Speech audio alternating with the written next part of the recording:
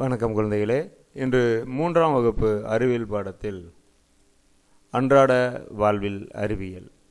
இதில் நாம் பொருத்துக மற்றும் சரியா தவறா இரண்டையும் பார்க்க இருக்கிறோம். அதையே ஒப்படைப்பாகவும் செய்ய இருக்கிறோம். ஆ வரிசையுடன் ஆ வரிசையை பொருத்துக இந்த வரிசையில் உள்ள பொருட்களுடன் இந்த வரிசையில் உள்ள பொருட்களை பொருத்த வேண்டும். முதலில் இது பழைய கரண்டி கிராமங்களில் இன்னும் இருக்கிறது. இது வந்து தேங்காய் ஓடு சிப்பாங்கொட்டின்னு சொல்லுவோம். அதில் ஒரு குச்சியை வச்சு கரண்டி மாதிரி செஞ்சுருப்பாங்க. இப்போது உலோகத்தாலான ஸ்டீல் கரண்டியை பயன்படுத்துகிறோம் இன்னும் கிராமத்தில் இந்த கரண்டி வழக்கில் இருக்குது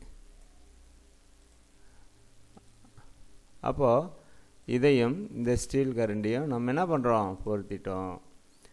அடுத்ததாக நம்மளுக்கு இருக்கிறது வந்து இது ஆட்டுக்கல்லுன்னுவாங்க மாவரைக்கிற கல்லுன்னுவாங்க.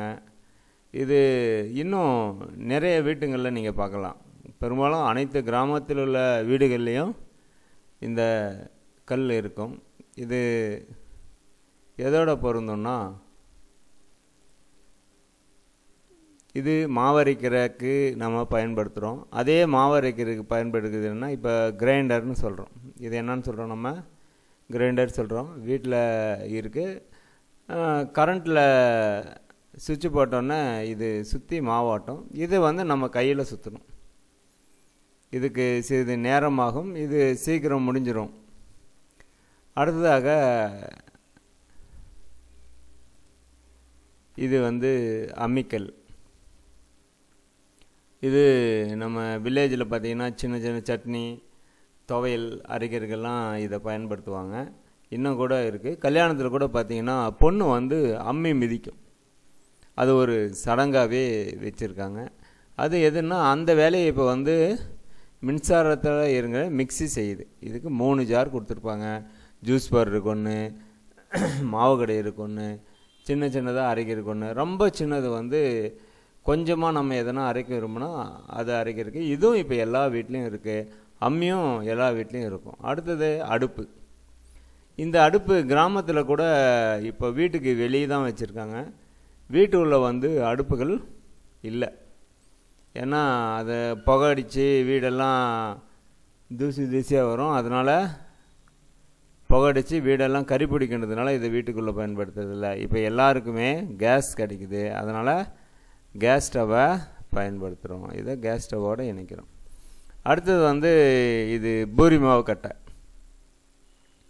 பூரி தேய்க்கிற கட்டை. இது வந்து எல்லா வீடுகள்லையும் இருக்கும் அதுக்கு பதில் இப்போது இந்த மின் மின்சாரத்தால் இயங்குகிற இந்த சாதனம் இருக்குது இதில் பூரி மாவு உருட்டி அழுத்துனா நம்மளுக்கு அது ரொட்டியாகவே வெளியே வந்துடும் அப்போது இந்த பொருட்களை விட இந்த பொருட்களில் நம் வேலை மிகவும் எளிதாகிறது. இது எல்லாமே பார்த்திங்கன்னா நவீன கால பயன்பாட்டில் உள்ள சாதனங்கள். இதெல்லாம் காலங்காலமாக நம்ம பயன்படுத்தி வந்த சாதனங்கள். என்ன குழந்தைகளே? இதை புத்தகத்தில் இதே மாதிரி பொருத்தி அதை பள்ளிக்கூடத்துக்கு கொடுத்து அனுப்பணும். அடுத்தது நம்ம சரியாக தவற பார்க்கலாம். குழந்தைகளே பக்கம் நூற்றி முப்பத்தஞ்சு எடுத்துக்கோங்க. எடுத்துக்கிட்டிங்களா? இதில் இ e வீட்டில் செய்யும் பாதுகாப்பான செயலுக்கு சரி என குறியும் பாதுகாப்பற்ற செயலுக்கு தவறு என குறியும் இடுகன்னு கொடுத்துருக்காங்க. இப்போ மின்சாதன பொருட்களை தொடக்கூடாதுன்னு நம்ம வீட்லேயும் சொல்லியிருக்காங்க பள்ளியிலையும் சொல்லியிருக்காங்க. அப்போ இதுக்கு என்ன பண்ணுறோம் தவறு அப்படின்னு குறியிடுறோம் அடுத்தது பார்த்தீங்கன்னா கூர்மையான பொருட்களுடன் விளையாடுதல். இதுவும் தவறு.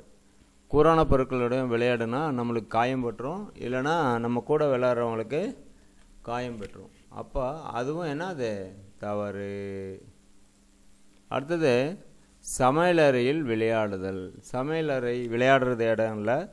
அங்கே ஸ்டவ்வு அடுப்பு கண்ணாடி பாத்திரங்கள்லாம் இருக்கும். அங்கே விளையாடக்கூடாது. அப்போ அதுவும் தவறு. அப்போ எரிவாயு அடுப்பு மற்றும் எரிவாயு கலன் ஆகியவற்றை பாதுகாப்பான இடைவெளியில் வைத்திருத்தல். இது சரி. அப்போது இங்கே என்ன பண்ணுறோம் நம்ம? சரின்ற குறியை போடுகிறோம். இப்போ செஞ்சிட்டிங்க இல்லையா?